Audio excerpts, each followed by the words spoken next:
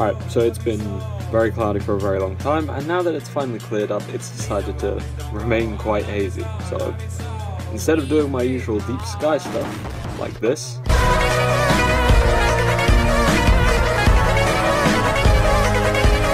I went back to the moon. I shot the moon a lot when I was first getting into this hobby, obviously it's the first thing everyone looks at. It's this big giant bright light in the sky, and you can see in detail. But this time I wanted to learn how to properly shoot the moon, get a nice close-up view. And I think it turned out pretty damn good by my standard. Please enjoy the video.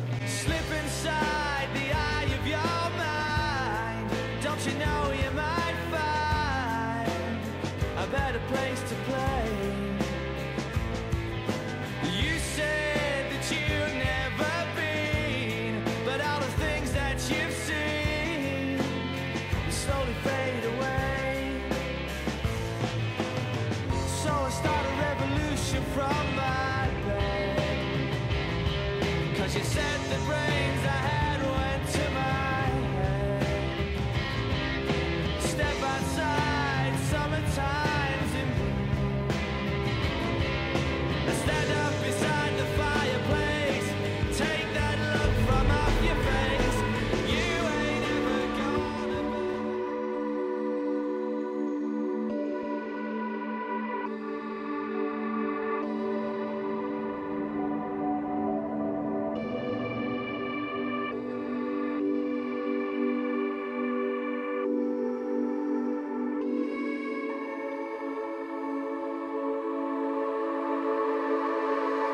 The universe is magnificent, isn't it?